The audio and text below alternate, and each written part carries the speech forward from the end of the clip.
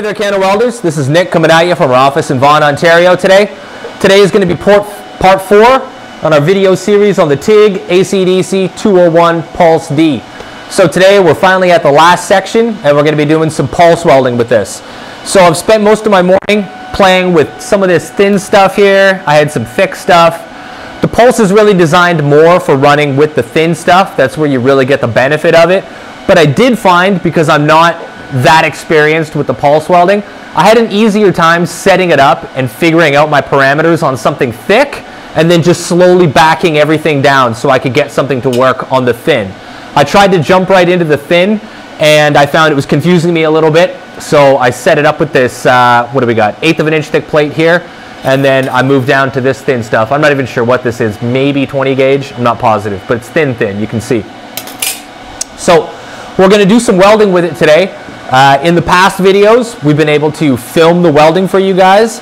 I'm not 100% positive that we're going to be able to film the actual welding because with the pulse, the light is going on and off, on and off, on and off, uh, and I'm not sure if our camera is going to be able to keep up with it. But we're going to try, and we're to hope for the best, and hopefully it works out well. A few things about pulse before I get started. So pulse welding, like I said, is best for joining two thin pieces of steel or aluminum together. And typically, when you're TIG welding, right? Say you have this set to whatever amperage and you're welding along. While you're welding, you are continuously not just putting heat into your puddle, but that heat is leaking out into this thin material and it's going to make it distort. It's going to make it bend. Sometimes, depending on what you're working with, it's going to make it discolor. And sometimes if you're coming along like this, by the time you get to the end, you know, and you're slowly making your way to the end of your weld, you have, the heat's got no more place to go. You've chased it all the way to the end, and now you're superheating this metal here. And if you're not paying attention and you're not using a foot pedal so you can slowly back it off and watch what the metal's doing, you can end up burning a giant hole down here. What was the perfect amperage here is going to be way too much for down here. That's something that can be tricky to do when you're learning how to TIG weld, right? Maybe you don't have the most experience in the world and you find that you're always blowing out a big section at the end and then you got to sit there and try to fill it up and that's just never good. It's not as, as right as it's supposed to be. The good part about the pulse is that you can set the high and the low on the machine. So say just for theory the high I want is 50 amps to weld on this. I can turn the low all the way down to zero. I can turn it to five. I can turn it up to 49 and have it just dip like this but, and then I can also adjust the frequency of the pulse. So I can set this thing to pulse so fast that it just sounds different. I can't even really see a difference. Or I can turn that frequency down so much that I can literally watch it go from 50 amps to 0 amps, 50 amps to 0 amps.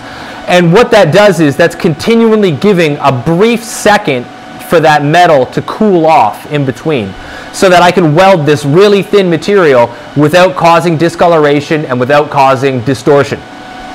Which is pretty awesome if you're doing like auto body stuff or you're doing any kind of fine work where you're working with thin material. It can make it easier to manage because what you're constantly doing is giving that metal a break. And you kind of get to decide by setting the frequency of that pulse how long a break it's going to get in between. And when you're on the high end of that break, so say I'm going from 50 to 5 amps, 50 to 5 amps, 50 to 5, when I'm at the 50 for that second, that's when I do my dab. Then I move forward on the 5. Then I dab on the 50, forward on the 5. Dab, like that, back and forth, back and forth. It takes a little bit of getting used to, um, and I'm not the best pulse welder in the world. I can do it though, so we're going to do it today. But I've definitely seen guys that do it all day long, every day, uh, guys that do art with it, all that kind of stuff, customers we've had. And man, when you get really good at it, you can lay beautiful beads that are very, very, very consistent on really thin gauge material. And again, you're not going to bend it all to hell or discolor it. So without further ado, I'm going to run a bead for you guys with it turned up on this quarter inch thick stuff. And I'm going to have it turned down really low so that hopefully you guys can see the pulsing. And then I'm going to try my hand at doing a butt joint with this really thin stuff, and we're just going to see how it goes and see if I know my settings well enough. Okay, so stay tuned. We're going to get to the interesting stuff now. Okay, so today we're using a foot pedal I got my hot start on. We have our pulse turned on. We got two step because we're using the foot pedal. I'm in DC because we're using steel. My stick welding options are off. Let's start at the beginning. I got 0.4 seconds of pre-flow, zero upslope, 200 amps on my pedal. So if I have my pedal maxed out fully, I'm going to get 200 amps, but otherwise the baseline's 15. This here, this button here is my low end. So whatever I'm pressing on my pedal is going to be the high end of my pulse. And when it goes into the low end where it pulses down, that's going to be at 65 amps. I can turn that all the way to zero, but I'm welding some pretty thick stuff. And if you go all the way to zero, you got to really go hard on the pedal.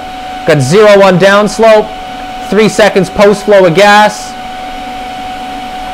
percentage at 25, and our hertz are at 0.5. I have the hertz turned right down to 0.5 because I'm going to do the slowest pulse the machine can do, just so you guys can see it going on and off. And we're going to see if our camera can catch it. If it can, we're going to turn up the hertz, probably rebalance things a bit, adjust our low end, and then we're going to weld that really thin stuff. Okay, so now that we got the machine set, I'm going to do just a straight flat bead on this because I'm not trying to really show off the weld. Like I mentioned before, I turned the hertz way down and I want to show you how slow this is going to be pulsing and how, how slow you can set it basically. And visually you'll be able to see exactly what I'm doing. Hopefully the camera is going to catch it. We haven't tested it yet, but let's see. If we get some good footage with that, I'm going to turn the hertz up or maybe down, I don't know.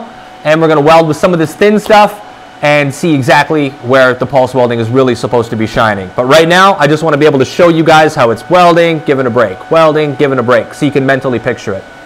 Okay, I'm going to drop my hood, and we'll see how this goes. Hopefully we have it set right.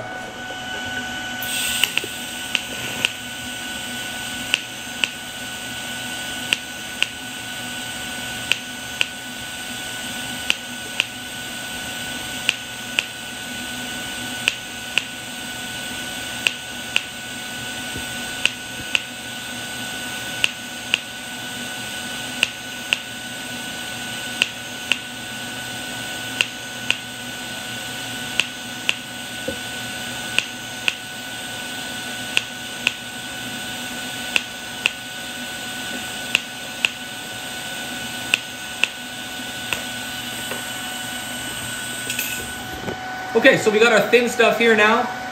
Now that we know that we can film uh, these pulse welds, hopefully it turned out good. I got the thin stuff here. I did a little practice weld on it. I don't love how it's looking because I'm not the most practiced pulse TIG welder. I do overhead stick welding for a living. So this is a little outside of my wheelhouse. But I just went ahead and I changed the hertz and I changed my low end amperage all the way down to five. So we're gonna try it again and see if it comes out better. Let's hope it does, because I only got, well, I got lots of steel to get it right. So we'll get it right, but let's try this again.